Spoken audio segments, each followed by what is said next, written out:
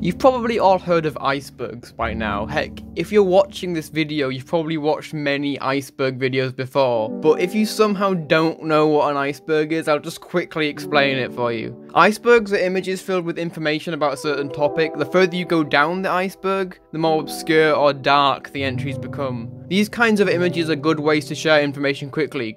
Granted you know what the entry names mean. That's why today I'm covering the Hylics and Hylics 2 Iceberg. Hylics is an RPG Maker game made in RPG Maker VX Ace that I absolutely love, and I haven't been able to play the second one yet due to hardware issues. A little thing I'll be adding for this video is this little Wayne face in the bottom corner as a health meter. This is just to show how believable I think each theory is. The more, um, dead he looks, the less believable it is. Incoming transmission. I actually managed to find two other Hylics icebergs while making this video. So I'll be going over those in other videos as to not extend the time it's taking me to create this video, so stay tuned for those videos. But without further ado, let's get the show on the road. The tip. Wayne is Gibby's brother. This is heavily implied since they both have lunar themed names. Wayne is a reference to the waning moon, and Gibby is a reference to a gibbous moon. This also matches their head shapes, more so in Hylics 1, which also means their heads would fit together when looking at the moon diagrams. They definitely have some kind of relation. Hylics isn't about Gnosticism. Gnosticism is a branch of Christianity that has some differences to the main Christian beliefs, such as increased belief in one's own spirituality. These beliefs aren't too relevant to the Hylics games, but the word Hylics in Gnosticism refers to a lower order of the three types of human. But None of this matters since this entry implies the game has no relation to Gnostic beliefs, and analysing the game proves this. Wayne is a hive mind. This seems somewhat true. Wayne is definitely a species as seen in Hylics 2, and they may have some shared knowledge in between multiple Waynes. Some of the Waynes at the Wayne house do seem freakishly in sync, so I'm inclined to believe they have some kind of shared mind. The water's surface. Pongorma's vault. This is most likely referring to the room you find Pongorma in in Hylics 1. You're required to complete a kind of combination code to unlock his room. This is the only way into this room, and there doesn't look to be any way to unlock it from the inside, which implies Pongorma was locked inside the vault, maybe waiting to help the hero on his adventure? Pongorma also refers to this room as a vault in his dialogue. Also, I'll never be able to talk about this ever again, so while I was looking on the Hylics wiki, I found this amazing word, quadripronged. It refers to Pongorma's helmet, how it's got four prongs. The technical term for something that has four prongs is quadripronged. I just wanted to bring that up because there will never be another situation where I get to bring up the word quadripronged. Unused slash cut content. This is where I get to officially plug my Hylics unused content videos. Yeah, I made a couple of videos on Hylics unused content that should be linked in the description and in a card. There are a few noteworthy unused items such as hand animations for spells, an unused title screen, and tons of unused maps. If you want more information on this, you should totally check out the videos and the cutting room floor page for Hylics. However, be warned, there's a bit of misinformation in my videos, but I did correct it in the comments of those. And I won't go over all the unused content in this video because there is quite a lot to go over, so I implore you to go and watch my videos on the Hylics cut content. The Afterlife. In both Hylics games, when you die, you get transported to the afterlife instead of getting a game over. Apart from being an amazing gameplay mechanic, the afterlife has some lore significance too. It could imply that Wayne and the party reincarnate after death, since, well, Wayne looks pretty dead when he dies. The afterlife also allows you to restore your health and up your stats, adding to the reincarnation or coming back to life stronger idea. Other than that, the afterlife exists. The Cone Cultist Cult. Cone cultists are enemies from the beginning of Hylics 1. Their name implies that they are part of a cult, although there's not much information on what this cult is about. They only have two attacks, Headbutt and Sulk, so there's not much to analyse there. Honestly, there isn't too much information on this topic that I could find. Significance of meat. Meat is an item you receive from defeating enemies that can be used to increase your flesh points, which is your HP in Hylics. The implication of meat is that Wayne assimilates the enemy's flesh to upgrade his own strength. The death animation may also show the creation of meat, with Wayne's flesh melting off his face. This is backed up by the dead Wayne lava in Hylics 2, that Wayne can collect meat from. The Deeper Waters. Airship underscore combatant. Airship underscore combatant is an unused battle object that occurred in pre-release versions of Hylics 2 when entering some battles. The airship was controllable while in battle, for example, when the player moved the cursor, the airship would move in the corresponding direction. This object existing could hint at there once being battles during airship segments, but for whatever reason they were removed. No one really knows what purpose this object would have served. It uses the regular airship sprites, only tinted yellow, so it could have been some kind of ally in battle, or perhaps it was intended to replace your cursor when in airship battles. In the image you can see the game is using the airship camera in the battle segment, which shows the object wasn't fully programmed in before it was scrapped. Thanks to many people in the Hylics Discord, Hylicord, for helping me out with this one. There wasn't any information online for this one, so Hylicord was a great help. Dedusmuln knows. This one most likely means nothing. There are a lot of things that Dedusmuln could know, and this entry is very vague like, what does he know? I, I, mean, he knows about paper cups. He definitely knows about paper cups. I, that's definitely what that's what this entry is is uh, is referring to. Hundred percent. The glandular significance. Glandular is one of the words that can get chosen by Hylics RNG text generator. By the way, if you're interested in how the random text is generated in Hylics 1, I've linked a document in the description that'll help. As for the significance of the word glandular, I'm not sure. There probably isn't one. Dracula pulling the strings. This entry alludes to the character from Hylics 1, Dracula. According to the iceberg, Dracula was supposedly pulling the strings the whole time. So all the travesty in Hylics 1, for example the land's mass hysteria which manifests in the randomly generated text in the game, was all Dracula's doing. However, this can be easily debunked by the entirety of Hylics 2. Dracula doesn't appear anywhere in the second game, and the same randomly generated text can still be observed here. Gibby was most likely the one pulling the strings all along. Alternatively, you could see Hylics 1's act transmissions as Dracula pulling the strings, as you have to press switches and levers in order to progress the game in those scenes. But what could he be pulling the strings of? Maybe he's helping Wayne's crew on their adventure? Items causing vivid hallucinations. I think this is referring to the item usage animations. These could be seen as hallucinations that the characters are having. Man, what was in that dynamite? This theory makes sense in a surreal world such as the one of Hylics. Hylics is about Gnosticism. This theory thinks Hylics is actually about Gnosticism, but due to there not being many similarities, I think this is false. Mason Lindroth said on an Instagram livestream that the name Hylics can be somewhat up to interpretation, so why why did you choose the name Hylics? Uh, what did the game have to do with um, Gnosticism, if at all? Uh, I, I, I think it's more of a how can I put it? Um, I was thinking of um, the characters as uh, I, I I don't know how to answer. it, it, the meaning for me has changed over time. Um, I could have named it like automatons or something. I was I was thinking of like the um the like non-player characters, their random speech, like thoughtless beings, the Hylics. I don't I don't know if it still means that to me, um, but uh, that's that's why I that's how I came to that word. Um, you know, get out get out the the thesaurus and um, you know relating kind of to matter or material. Yeah, yeah, and the game is very um, there's a lot of materials, uh, very tactile, so the game I'm seeing someone type uh, soullessness in the comments here, and, and uh, there were there were some Zen thoughts. You know, there was some not well, maybe not Zen. yeah, I was like post college, so you know, I had some uh, some angst maybe going. So I suppose it's your choice as a viewer to choose which theory you believe. Hello, it's Editing Harry here. I just wanted to mention that these Instagram live videos are a really, really good source and it's a really, really interesting thing to watch if you're interested in anything Hylics or anything Mason Lindroth related. One very, very cool person archived the live stream into two parts and put them on their YouTube channel, which is really, really cool and it's currently the only place they exist on the internet. As with all the outside sources I use in this video, everything will be linked in the description. Anyway, back on to the next thing, which is about Gibby, I think. Gibby is the demiurge.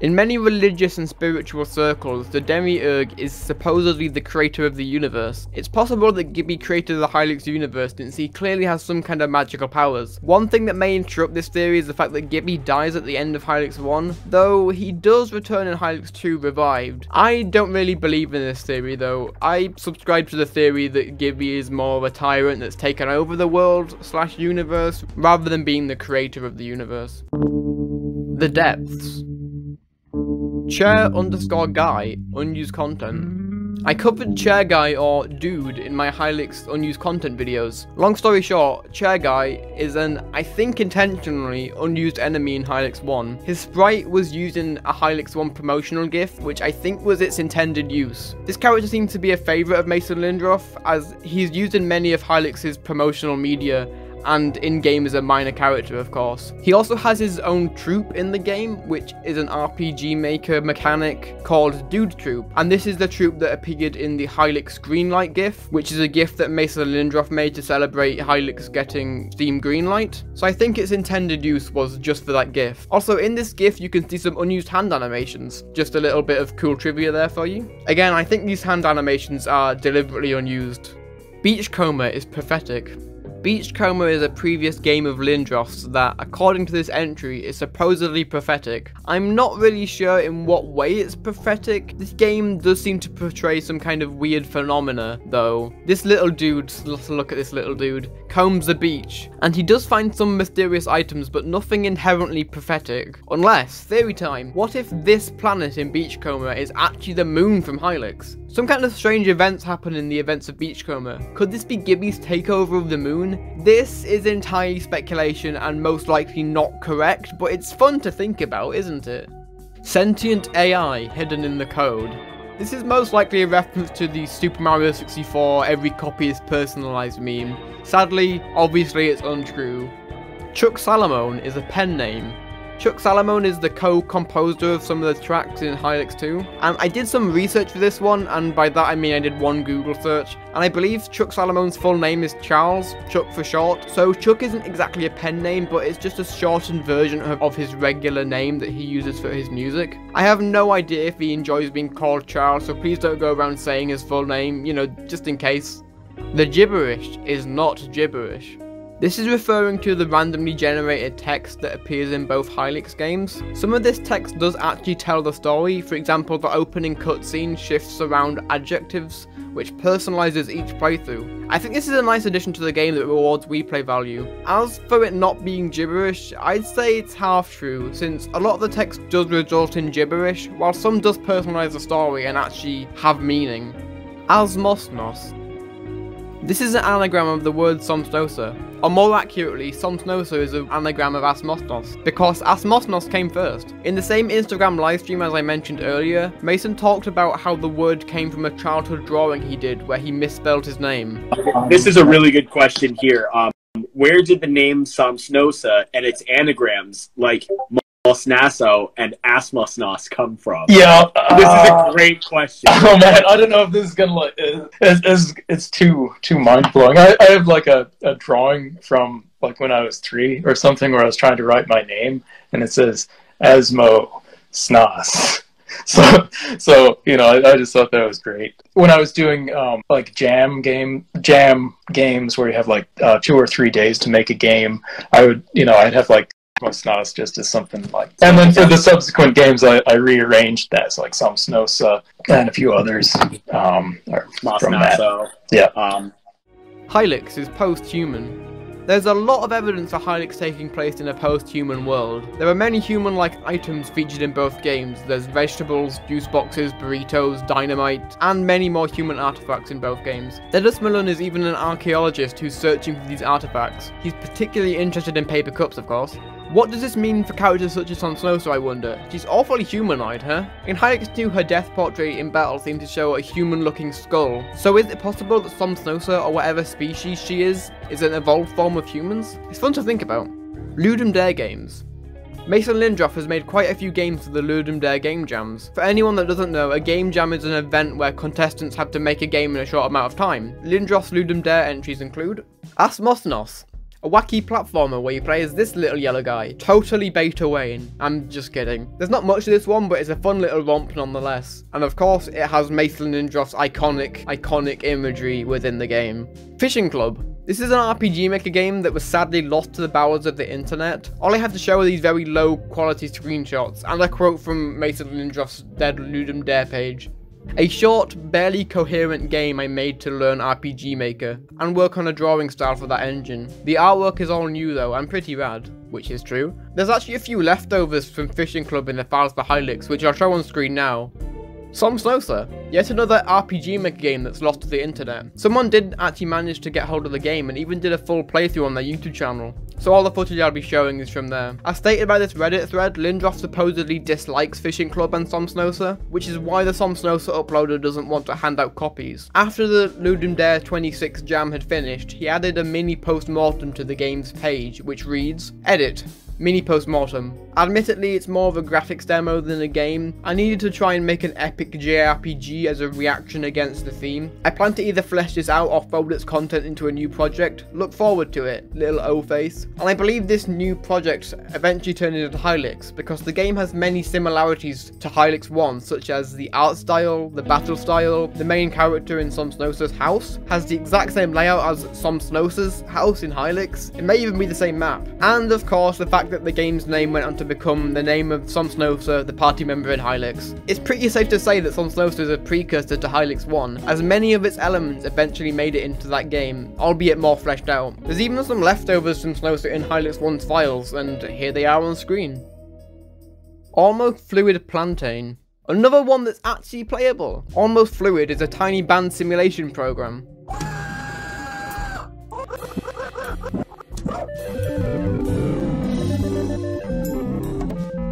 The scene depicted in this game is very similar to the ending sequence of both Hylics games, where you can control the members of the band using different keys on your keyboard. Hylics absolutely does seem like the culmination of all of Lindroth's early work. Weird Egg and Crushing Finger. Weird Egg starts out as an uninhabited island where a weird egg and a crushing finger that you can control. This seems to be the first appearance of the hand sprites that would later appear in Hylics and some of other Lindroth's early games. This game is really interesting to play. It's kind of like a god game where as the crushing finger you get to decide the fates of the creatures that live on this island. Your goal, naturally, is to collect as many souls as you can to make the humanoid creatures dance. It's fun to see all the little interactions in this game. I'd recommend giving this one a try. Beachcomber. Ah yes, the supposedly prophetic game. This one's trippy. It has three different endings and the ways in which you get them are strange to say the least. You play as this little cute fella and well, you do what the title says, you comb the beach. Using your metal detector, you uncover things that aren't exactly metal, but who says things in these games have to make sense? This one's surprisingly deep for what it is. I'd recommend giving this one a go if you like surrealism. And judging by the fact that you clicked on a Hylics video, I'd say you're into that kind of thing. Lullaby.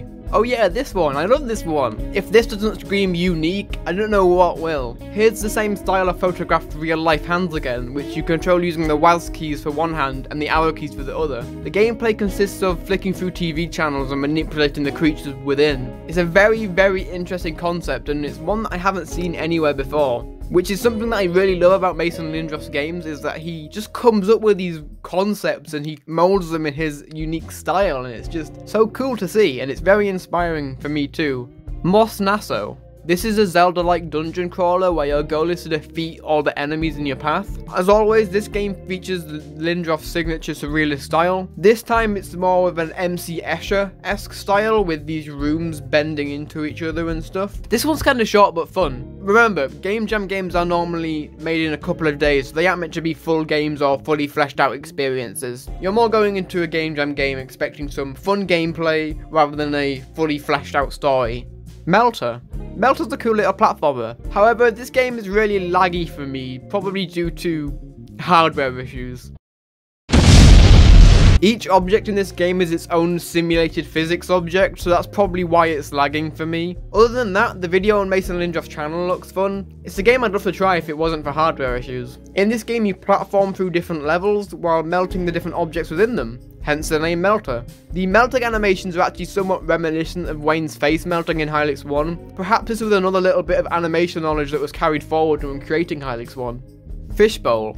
I absolutely love Fishbowl. You play as this little yellow fella who is tasked with collecting these three fish bowls from different areas around the map. Sadly, this is another laggy one for me, so I'm using Mason Lindroth's footage. I just like this game, I, I think it's neat. In my personal opinion, I think Lindroth's style really shines in this game in particular. I think it's the mix of the colours that really makes the whole game pop. The combat and platforming are unique for a platformer and were enjoyable from what I could play. Plus the main character is just adorable. Vadar.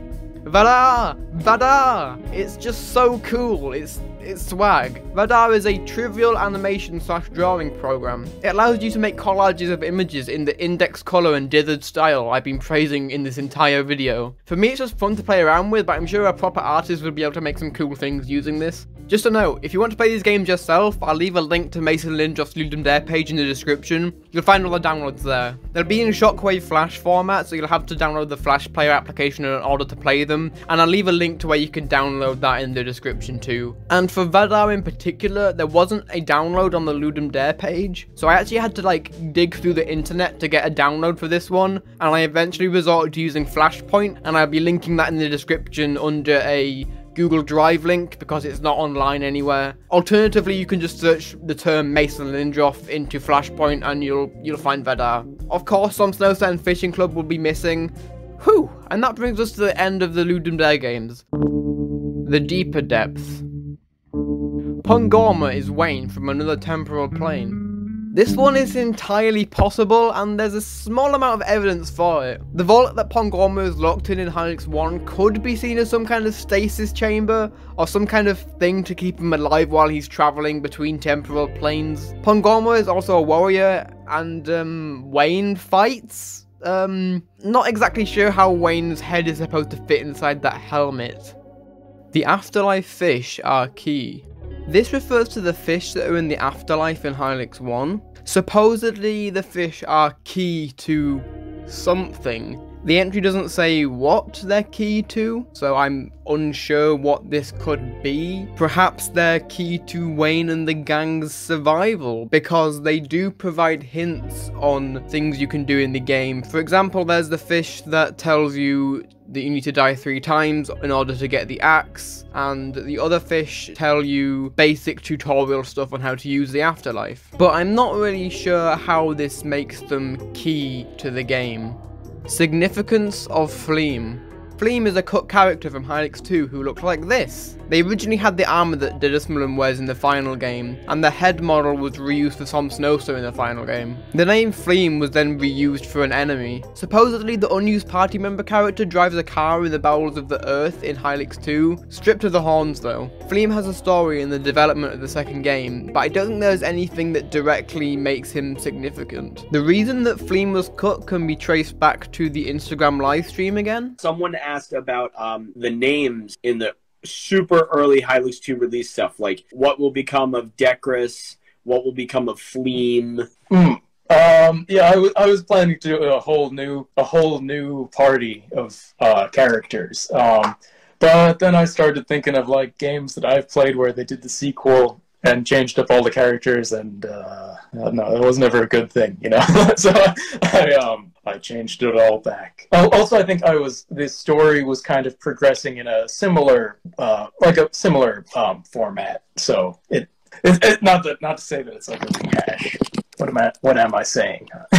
um, um, they just started to feel like substitutes, so I felt like why not just Right. go back to the old character, the old and beloved characters. Uh, as for what will happen with the characters um, or who they are, uh, Dekris was going to be like basically a, a female version of Wayne, Femme Wayne. Um, I'll find some use for Fleam and Instar. Hylics is set in the past. There isn't really much to go on for a timeline for Hylics, though it being set in an alternate past version of Earth could be possible, as in the human race ended in a year before the 2000s. There's a bit of evidence for this, such as the televisions in the games look like CRT TVs rather than modern flat screen displays. The computers in Hylics also look more like 80s to 90s PCs. There's also a few other things in the promotional material like this phone here. This is an interesting theory that I think somewhat holds up. Dedusmuln is human. At first, this theory seems baseless, and while I don't believe it, I still think it's interesting to think about. Dedusmuln being human could explain their fascination with human artifacts, like they want to remember the times when humans still roam the planet, which connects back to the theory about Hylics taking place in a post-human world. A few flaws with this theory are that Dedusmuln is actually unisex, as well as it being confirmed that he has horns and no humanoid features between the horns. Wayne Duck. An adorable image of a duck with Wayne's head. It appears in a late game area in Hylics 2, so I won't spoil exactly where it appears. And it's just so cute, look at it. And of course there's this amazing video, in which Mason Lindroth showed off a model of a Wayne duck in the Instagram livestream, and it became a kind of meme in the Hylics community thereafter. The Juice Pack Code. This seems to point towards code for the juice pack in a Hylics game, but I'm not entirely sure what it's referring to, because, I mean, obviously the juice packs are coded in to the Hylics games, but there isn't anything entirely special about the juice pack code itself. The bottom of the iceberg. Hylics cart in the code. Man, I wish there was a Hylics cart, but sadly it doesn't exist. Imagine it though. Wayne racing around in some kind of sports car, and then Pongorma would have like a truck or something. Mason, this better be your next game, or there will be consequences. Poolmen are neurons. Gibby and his area are often referred to as a fancy meat computer, as well as his track in the game, aka a brain. And the pink goop in his area in Hylics 2 does also resemble the colour of a brain, which is also the area that the poolmen appear in, and they multiply just like cells do. All the hints point towards them being neurons, or at least a reference to neurons. Chairman, Secret Boss Battle and Significance. Chairman, also known as Dude, is a cut character in Hylics 1. He appeared in multiple GIFs Mason Lindroth posted on Tumblr during the time leading up to the release of Hylics. In one of these GIFs, he appears in-game alongside a few other enemies. Because he appeared in these GIFs, he had to be coded into the game, so he has an unused fight. He has one attack, the basic enemy attack, and he's fairly weak. However, he has a whopping 20,000 HP. You don't gain anything from defeating him. Again, I don't think there's any significance to this, but it's still an interesting fact nonetheless. The word significance must be a thing the creator of this iceberg used to make things sound more mysterious. Unused Galliform Death Event. This was an event in Hylics 2 that was discovered by playtesters wherein a cataclysmic error would occur when defeating a group of the enemy Galliforms at the excavation site. The error occurred because of an unused event that was supposed to trigger when these enemies were defeated. However, in its unfinished state it crashed the game. It was later patched after the playtesters told Mason Lindroth. This is another one that Hylicord helped me with, big big thanks to them. The Catamites connection. The Catamites is the creator of another RPG Maker game, Space Funeral. This and Hylics have similar graphical styles with bright colours and strange avant-garde elements. Mason Lindroth was actually playing through Space Funeral while he was working on the first Hylics game, and he said in the Instagram live that a lot of Hylics' elements were directly and subconsciously inspired by that game. Space Funeral is a cool yet unsettling game. I'd recommend it if you like creepy or unsettling imagery, but if you're easily spooked, this one might not be for you. The Sea Floor Cone Cultist Lore there isn't anything explicitly stating any Cone Cultist lore within Hylics, and the Cone Cultists don't appear anywhere in Hylics 2, so there isn't much to go on here. Their name being Cone Cultists implies that they have a cult, but there isn't much more than that to explain, and I already covered that in an earlier entry. If you happen to know anything about this lore, comment in the comments or contact me on uh, any social media, but I honestly don't think there is any lore to these Cone Cultists. This might be another bogus entry. Astral dreams after playing.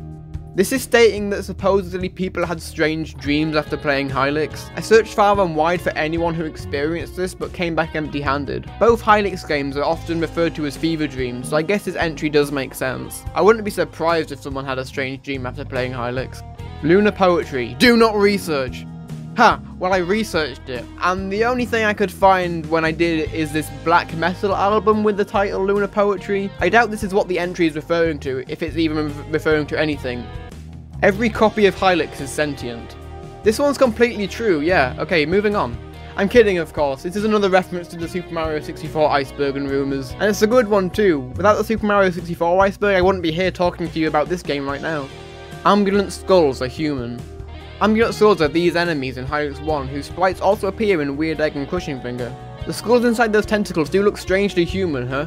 In accordance with other theories, Hylics does take place in a post-human world. Could these skulls be the remaining remnants of humans? If so, what the heck happened to them? Could this be Gibby's doing?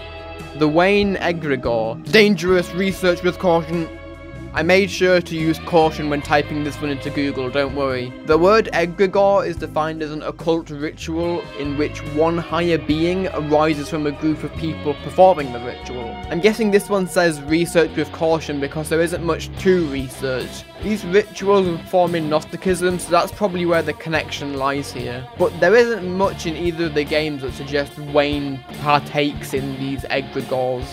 And, well, the last few of these are definitely not real. The creator of this one most likely didn't know what to put on these lower levels. Overall, I'd say this iceberg is a good introduction to the Hylics lore and everything surrounding Mason Lindroth. However, there are obviously quite a few entries that were completely false, which doesn't help when you're trying to document information on a game. But as I said at the start of the video, there's a couple of other Hylics icebergs that I found while making this video, so you should subscribe if you don't want to miss those videos when they come out. Well, until next time. Hmm, I guess with the random text it technically does make every playthrough of Hylics personalised.